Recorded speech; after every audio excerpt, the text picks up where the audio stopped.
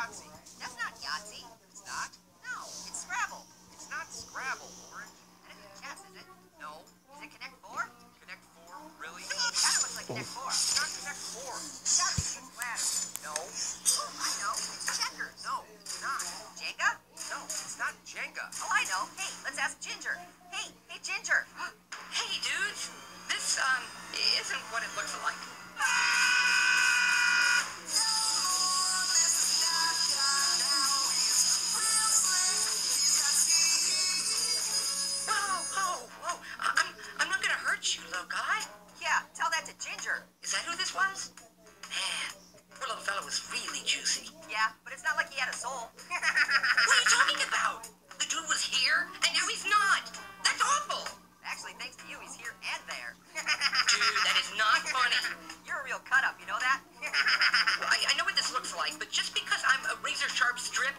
Stainless steel doesn't mean I want to hurt anybody.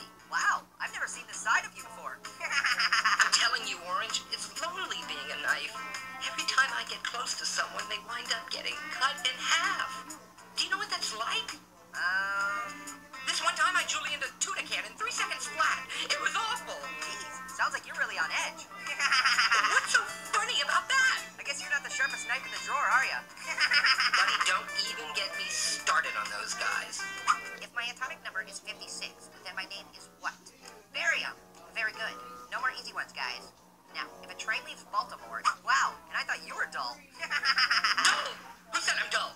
I did, just now. Not so loud, man. Do you know what happens to a dull knife? He goes on a lot of first dates. No, dude. He gets a little visit from the sharpener. Ooh, is he like the equalizer? No, the sharpener is harder than a rock. And do you know what he does? Sharpens little fools like you. Who said that? Wasn't me. Me either. Oh, come on. That was totally a Yahtzee. It wasn't me. What about him? Who? Sharpener. Not again. What's wrong, little guy? Think I'm gonna rub you the wrong way?